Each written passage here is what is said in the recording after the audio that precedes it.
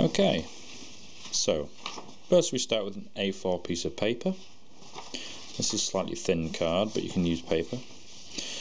It's a rectangle. We need to make it into a square. So corner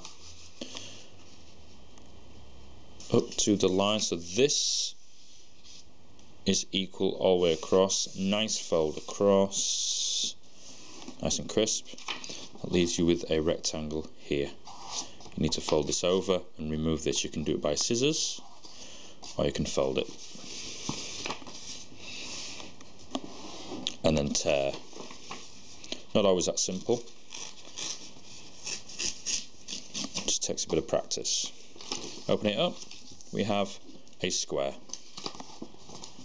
Okay. Now you have a fold across here. Let's fold from corner to corner to create another fold that goes across that fold. Gives you a nice cross shape like that. Okay, so start with a corner, go to the middle. I'll mark the middle so you can see where it is and where we're working towards. Corner to the middle.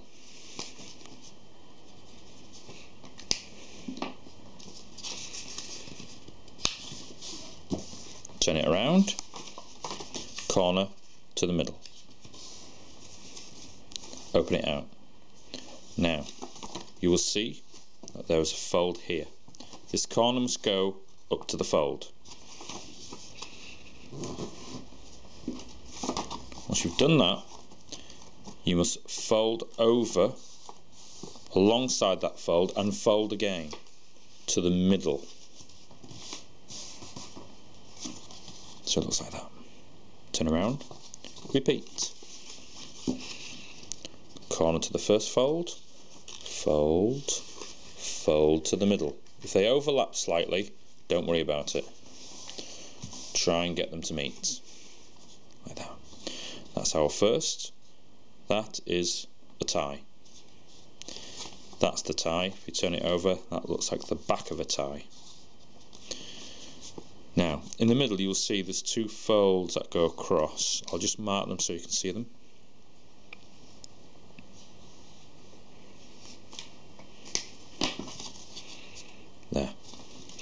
This is tricky if you're not used to it. You grab hold of this flap here, put your finger on the corner there, literally.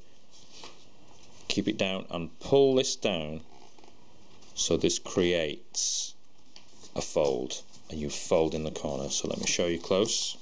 You bring this down, you can see how it folds across there. That's the trickiest fold in all of this. Do the same on the other side, and you get this shape here, like a collar. Now pull this down so that the corner meets in the middle and fold at the top and it creates this shape. This is our first dog. Two eyes, little triangle for a nose. There's our first dog. Fold his ears in. His ears become folded in. The nose is folded up. To create that. And then you fold this up to meet the top. Turn around and repeat.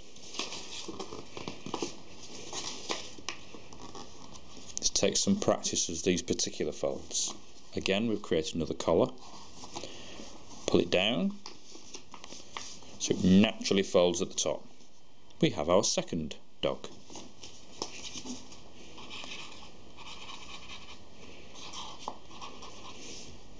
little triangle for a nose.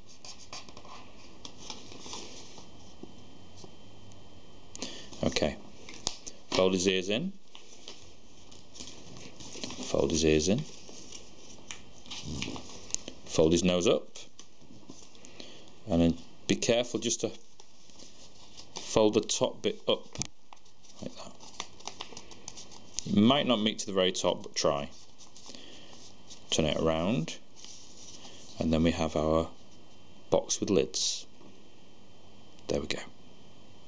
The lids don't shut but they do open like that put that back down. Turn it over. Now on the back you will see there's a fold that goes right across here. I'll just mark that in just so you can see it. There. You now need to fold.